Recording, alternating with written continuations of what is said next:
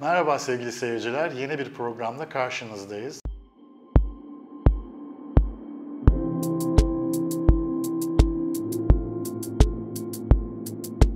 Geçen sefer daha güzel havalarımız vardı ama bu defa biraz İstanbul eskilerin tabiriyle sümbüli yani sıkıcı, baskıcı bir hava var. İşte bu da e, eski İstanbul edebiyatından bir e, tabir. Aslında size bugün ben e, Tarabya'yı anlatacaktım ama neden Tarabya, terapya denmiş? E, bir de eski ismini farmakia, zehirli denmiş. Ama bu defa ondan vazgeçtim. Başka bir konuyu anlatmak istiyorum. Ona belki başka bir programda de, değiniriz. Ee, size e, Göbekli Tepe'yi anlatmak istiyorum. Göbekli Tepe'nin çok büyük önemi var ama bazıları medyada bize diyor ki e, Göbekli Tepe aslında önemsiz, büyük bir yalan.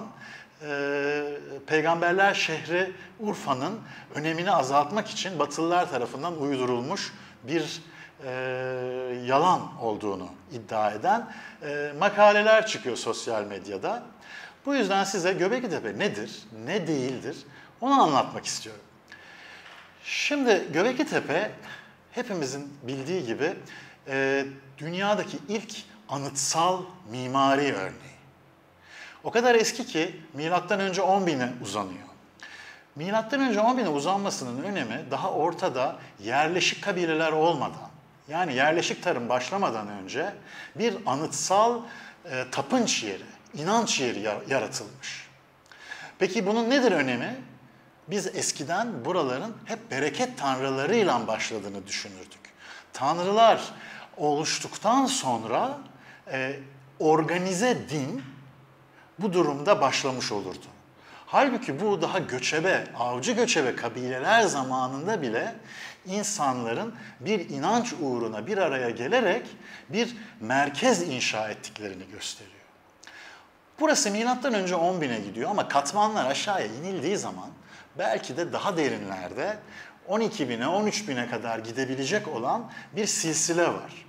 Hatta eski katmanların daha iyi yapılmış olduğu yukarıya çıktıkça biraz daha kalitenin bozulduğu da iddia ediliyor.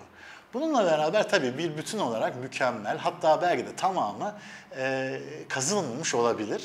E, onun için bize yeni ileride ne sürprizler bekliyor bunu da bilmek mümkün değil. Şimdi gelelim bu anıtsal mimarinin ve dinin önemine. Ee, insanları düşünün. Avcı toplayıcı bunlar. Yani bir şekilde göçebe. Ama hepsi bir araya geliyorlar ve bir bir inanç için bir yer yapıyorlar. Bu ne kadar önemli biliyor musunuz? Bugün biz Ayasofya diyoruz, Fatih Camii diyoruz veya Vatikan. Bunlar hep organize din. Organize, yerleşik, biz insanların yaptığı yerler. Oysa bu insanlar o devrin teknolojisiyle ciddi manada bin yıl boyunca kullandıkları, iki bin yıl boyunca kullandıkları belki bir e, dinsel merkez yapıyorlar. Ve burada dinsel merkez dediğimiz zaman muhakkak bir şekilde hiyerarşik bir kast düzeni var. Yani e, birbirlerine emir veren, organizasyonu oluşturan, dini açıdan görevleri olan kişiler var. E ama biz bakıyoruz burada hiç mezarlık falan yok. Etrafta hiçbir ev yok. Yani demek ki bu kişiler ya başka yerlerde ya bu tapınağın içinde kalıyorlardı. Ama ve lakin bunların beslenmesi nasıl sağlanıyordu? Demek ki dışarıdan avcı toplayıcı kabileler bu kişileri besliyorlardı. Yani bugün diyebiliriz ki belki bir parazit, belki bir asalak gibi yaşıyorlardı bu insanların üzerinde. Ama onlara sundukları şey bir inanç bütünlüğüydü. Onları rahatlatan bir inanç. Peki rahatlatan inanç nedir? Ölüme, hastalığa, av yaralarına, e, kıtlığa, kötü avlara karşı bir nevi büyüler ve şifa dağıtımı, e, tabii onların tabiriyle bir şifa dağıtımı ama belki büyücülüğün ilk atası olacak olan e, işleri yapan e, insanlardı bunlar. Bunlara rahip diyemeyiz ama ve lakin rahibin, e, şamanların temeli diyebiliriz bu gruplara. Bunlar dışarıdan besleniyordu. Ama bu kadar büyük kompleksleri beslemek mümkün değil. Yani bizim aslında milattan önce 10 bin yılında gördüğümüz şey belki de Anadolu'da ilk yerleşik tarıma geçiştir. Yani tarımın biz çeşitli yerlerde değişik zamanlarda başladığını biliyoruz. Normalde de 7000'li yıllarda başlamış olduğunu söyleyebiliriz milattan önce. Ama burada 10 bin yılında milattan önce bir yerleşik tarımın başlamış olabileceğini söylemek mümkün. Neden? Bu rahip atası kastları desteklemek için. Peki bunlar sizce ilk ne yetiştirdiler? Ekmek için buğday mı? Hayır. Bira için arpa. Evet şaşırmadınız. Bira için arpa.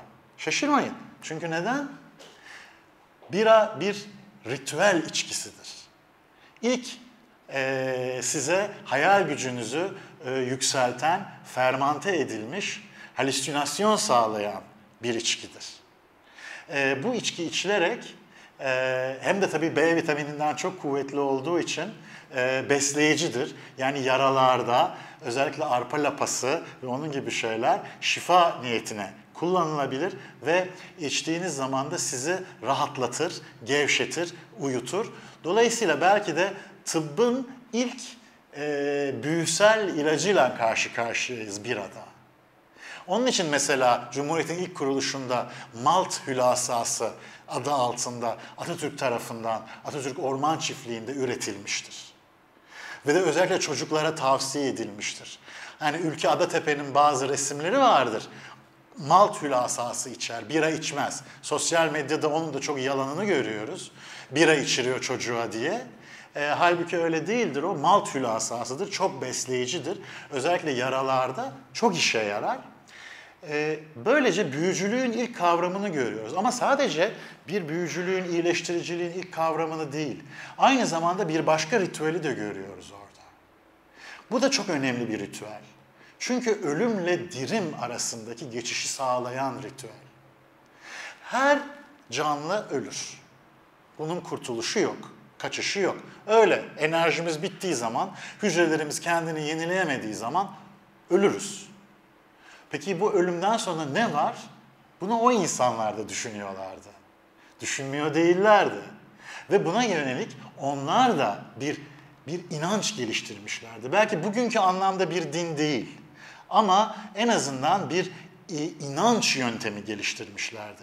Ruhu diyemeyiz ama insanın bir özü olduğunu düşünüyor olabilirler. Bakın olabilirler diyorum. Neden? Çünkü bunu hiçbir şekilde bilemiyoruz. Geçen yine medyada gördüm. Ee, orada diyor ki efendim oradaki insanlar e, DNA analizi yapılmış. Orada yaşayan Kürtlerle aynı çıkmış oradaki kafa tasları. Şimdi böyle bir şey yok. Çünkü böyle bir araştırma yapılmadı. Ama ne yapıldı biliyor musunuz? Oradaki bulunan kafa tasları üzerinden bir araştırma yapıldı. Evet, orada insan kafatası bulundu. Mezar bulunmadı demiştim size. Ama insan kafatası bulundu, insan kemikleri bulundu. Diğer hayvan kemikleriyle beraber kırılmış halde, parçalanmış halde. Ve bu hayvanlar nasıl yenmiş ise bu insanlar da yenmiş bu kafa tasları modifiye edilmiş yani delinmiş ve içindeki beyinler alınmış. Büyük ihtimalle bu beyinler de yenmiş. Şimdi burada baktığımız zaman çok enteresan bir kafatası kültü görüyoruz. Bir cins kafatası kültü. Ölünün etinin yendiği, iç organlarının yendiği bir kültten bahsediyoruz. Aynı şeyi biz Çatalhöyük'te de gördük. Orada da var. Boyundan yukarısı kesilmiş, havada uçan ölüler. Bazılarının kafası yok, bazılarının da boyundan kesilmiş bir çizgiyle ayrılmış duvar resimleri. Bu çok önemli. Bu bir kafatası kültü. Aralarında 4000 yıllık kadar bir fark var. Ama temelinin nerede olduğunu görüyoruz. Göbekli Tepe'de. Göbekli Tepe bu dinin merkezi. İnsanlığın belki de şu ana kadar bildiğimiz ilk dininin merkezi. Bazıları buradan tevhid dini çıkartmak istediler. Çıkmaz. Neymiş efendim namazı duran bir adam gibi figürler varmış. Hayır, böyle bir şey yok. Oradaki din bu din. kafatasından beynin yendiği bir din. Biz buna şamanik, ritüelistik yamyamlık diyoruz, kanibalizm diyoruz. Çünkü neden biliyor musunuz? Ölen ulunun etini yediğiniz zaman onunla bütünleşmiş oluyorsunuz. Onun özünü kendi içinize almış oluyorsunuz. Buna şölen adı veriliyor. Bunu bazı kabilelerde hala daha görüyoruz. Hala daha çok ilkel kabilelerde bunun yapıldığını biliyoruz. Ama orada hiçbir yazı yok. Onun için bu böyleydi, şifacıydı, tevhid dini vardı, işte şöyleydi falan demek mümkün değil. Peki ne mümkün? Sadece üzerlerindeki kemiklerin diş izlerinden, parçalanma izlerinden ve kafa tasarın delinip içinden beynin çıkarılmasından bunun da yendiğini, beynin de yendiğini ve diğer etlerin de yenmiş olduğunu görüyoruz. Peki sonra ne yapılıyor? Bira eşliğinde tören başlıyor. Bu törenle ve bazı mantar çeşitleriyle bunlar da halüsinasyon veriyor. Ne yapılıyor? Bir şekilde bir alem yapılıyor. Bir toplu seks yapılıyor ve bu toplu seksten ile ölmüş olan ölünün e, çiğsi ya da özü ya da içeriği yeni doğana geçiyor. İşte Göbekli Tepe'nin en önemli amacı bu. Bir ölüm dirim trafik merkezi. Ölmüş olan uluların, kabile ulularının yeni jenerasyonlarda çıkışını, yeniden dünyaya gelişini e, yarat, yapabilmek üzere, yaratmak üzere bir cins ritüel oluşmuş durumda. Bunun merkezi haline gelmiş durumda. Onun için sizden isteyeceğim şey, e, belki de bunu en başta istemek durumundaydım. Bugüne kadar bilmiş olduğunuz, size anlatılmış olan her türlü bilgiyi silip atmanız. Sosyal medyada size söylenen, yok efendim orada şifacılık yapılıyordu, yok efendim oraya Atlantislilerin şeysiydi, ee, yok efendim uzaydan, Sirius'ten şunlar geldi de orada Mars'tan bunlar geldi, orada Andromeda'dan şunlar geldi, orada efendim insanlara bilim öğrettiler, ilim öğrettiler gibi şeyler değil. Öz be öz insanın içinden çıkan ilk din bir şekilde yaşamın devam edebilmesini sağlayan, yaşam özü üzerine kurulmuş olan bir din. Ve böylelikle silsileyi devam ediyor. Bugün bile bölgedeki Yezidilerde bu inanç devam eder. Devam ettiği gibi e, ölünün birkaç nesil sonra yeniden dünyaya geleceğini tahmin ederler. Bu şekilde bir algıları vardır. Evet Göbekli Tepe'de burada bir önemli şeyi de belirtmek gerekiyor tabii. Bütün bu e, taştan bahçe, bazılarına göre bir nevi Adem'in bahçesi, e, bazılarına göre de tamamıyla e, ayrı bir e, ekolojik dengeyi gösteren bahçe. E, bunun da nereden geldiği, nereden esinlerine yönelik değişik e, teoriler var. Fakat bunu da size bir ikinci programda anlatmak istiyorum. E, çünkü konu uzayacak. E, sıkıştırmak istemiyorum araya. E, orada da size bu konudaki bilgilerle ilgili bazı temel kavramları da vermek istiyorum. Onun için şimdilik sizlerden izin isteyip hoşçakalın diyorum.